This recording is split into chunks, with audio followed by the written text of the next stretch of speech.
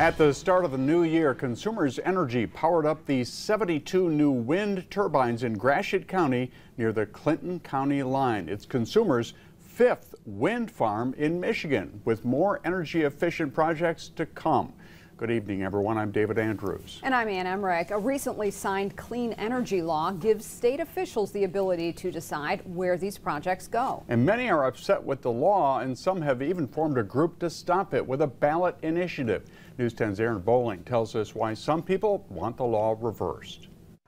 Ann and David, with Michigan's new law mandating 100% clean energy by 2040, we're going to be needing a lot more clean energy farms just like this one. The question is, where do they go? The state now has the ability to make that decision, but some Michiganders say they want to protect their undeveloped land from large-scale clean energy developments just like this one. So we wanted to have local control. That's part of what our recall was over.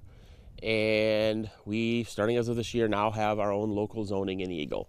Still in the midst of a long fought battle to prevent large scale clean energy developments in the rural community, Eagle Township Supervisor Troy Stroud supports Citizens for Local Choice. It's a new group working to put a measure on Michigan's ballot, reversing newly signed legislation that took away local control for clean energy projects again, I, think that's the right of the people. I hope that it gets taken through. I hope it goes to a vote so the people of Michigan can actually say this is what we want in our local communities. In places like Gratiot County, large wind farms are being developed on private property such as fields. Consumers Energy says they will be developing more of these clean energy farms to meet their goal of shutting down their coal plants in the next 18 months. So together, the five wind farms allow us to power about 330,000 homes.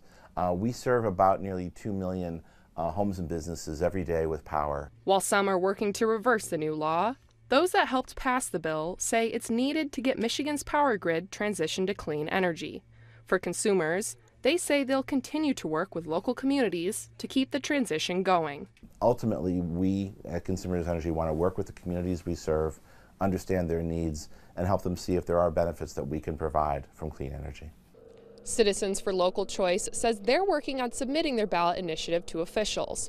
If approved, they'll have 180 days to collect signatures to put the law reversal on Michigan's ballot.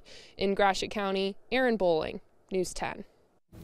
We did ask Consumers Energy about plans for any future wind farms in Michigan. They tell us they do not have any other wind projects that are in the works. They did say, however, we'll be seeing more solar farms in the future.